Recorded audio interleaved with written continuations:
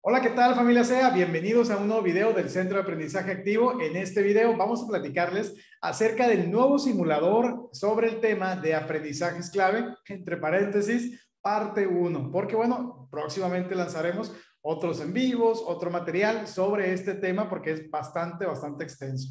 Y bien, en este primer simulador, mucho ojo, es para que tú te pongas el reto, para que conozcas cuáles son tus fortalezas y también tus áreas de oportunidad para practicar para los exámenes de la UCICAM. Y bien, también comentarles que este simulador lo vamos a estar resolviendo en vivo el día jueves 10 de febrero a las 6 de la tarde, hora de la Ciudad de México, por este canal del Centro de Aprendizaje Activo. Y tendremos a unos invitados especiales. Tendremos al Team Carrión resolviendo con nosotros este simulador. Mucho ojo, estará con nosotros Rocío, Mario y Daniel Carrión, nuestros grandes amigos, apoyándonos en el análisis, en la resolución de estas preguntas, de estos reactivos, ¿sale? Comentarles que, bueno, tenemos el simulador, siempre en todos los simuladores, estamos dejando nuestro canal de YouTube para que, bueno, vayas, lo visites y conozcas el contenido. Y si no lo has hecho, te suscribas. El que tú te suscribas es indispensable para poder participar en el chat. Mucho ojo, ya cuando tú vayas a responder todas las preguntas, le vas a dar clic al final y vas a enviar este formulario que bueno, ah, de esa manera te va a decir a ti cuáles son tus respuestas correctas y bueno, cuáles fueron de manera incorrecta. Y bien, no se preocupen, si de pronto eh, salen algunos errores, no pasa nada, esto hay que verlo de manera positiva y ver que es una excelente oportunidad de conocer qué áreas son las que nosotros tendremos que ir trabajando para que tú tengas una mejor, obviamente, práctica de estudio, una mejor comprensión del documento. Y bien, tenemos este simulador de ocho reactivos y el primero dice lo siguiente. ¿Qué ámbito del perfil de egreso en el nivel primaria busca que los estudiantes exploren y experimenten distintas manifestaciones artísticas? En la número dos, el profesor Mario Carrión Busca una actividad para favorecer el ámbito del perfil de egreso de la exploración y comprensión del mundo natural y social. Del siguiente listado, ¿qué actividad contribuye a dicho ámbito? Tenemos cuatro posibles respuestas. La número tres, la maestra Rocío Carrión está trabajando con sus estudiantes la estrategia de la telaraña, donde los participantes se forman en un círculo y se lanzan una bola de estambre a la vez que comparten ¿Cómo se sienten en este regreso a clases después de aprender desde casa? ¿Qué ámbito del perfil de egreso está fortaleciendo? ¿Sale? Y todos esos temas ya los vimos en el en vivo que hicimos el día de ayer. Mucho ojo, si no tuviste la oportunidad de acompañarnos, no hay ningún problema. Todos los en vivos quedan grabados en nuestro canal de YouTube. Así tú puedes visitar nuestro canal y conocer el material. Ya se acercan los exámenes, ya falta muy poco el tiempo para que tenemos disponible para poder seguir estudiando. Y esto sobre todo a los de vertical, que bueno, tenemos en abril el examen y en mayo para los de admisión. Entonces, la verdad es que es mucha la bibliografía que tenemos que estudiar, hay muchos datos que recabar y de esta manera tú puedes medir tus avances y saber qué tendrás que retomar próximamente.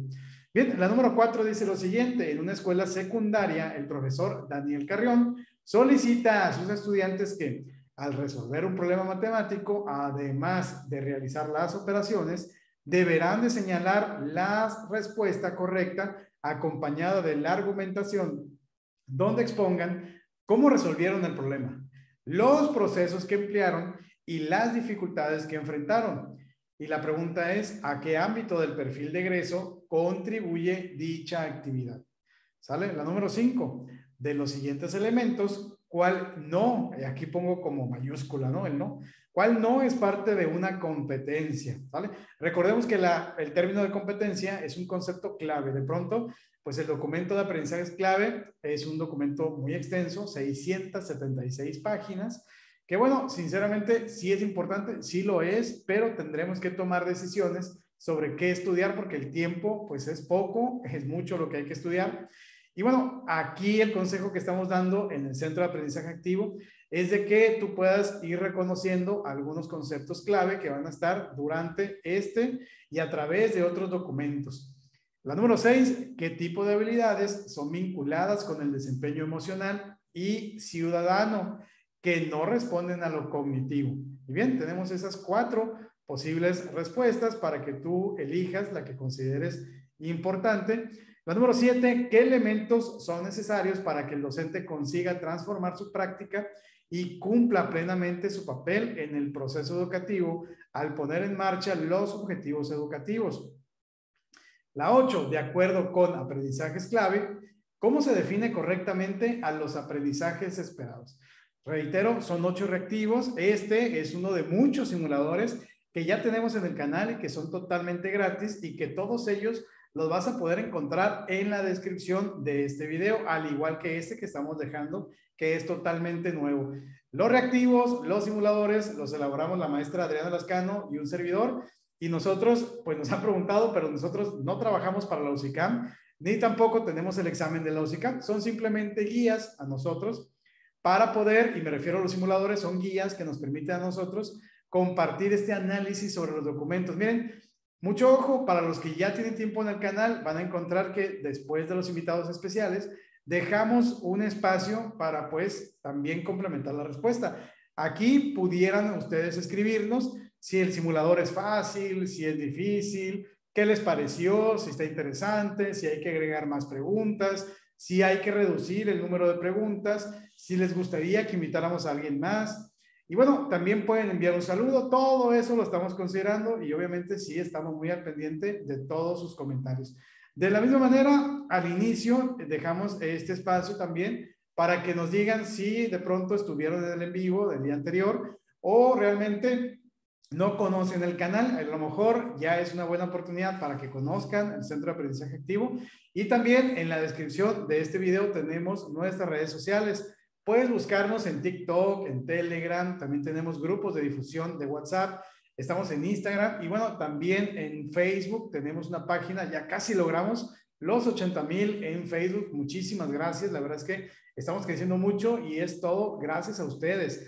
Igual, si quieres recomendar el Centro de Aprendizaje Activo, puedes enviarnos un mensaje a través del correo electrónico o bueno, a tus compañeros a través de WhatsApp.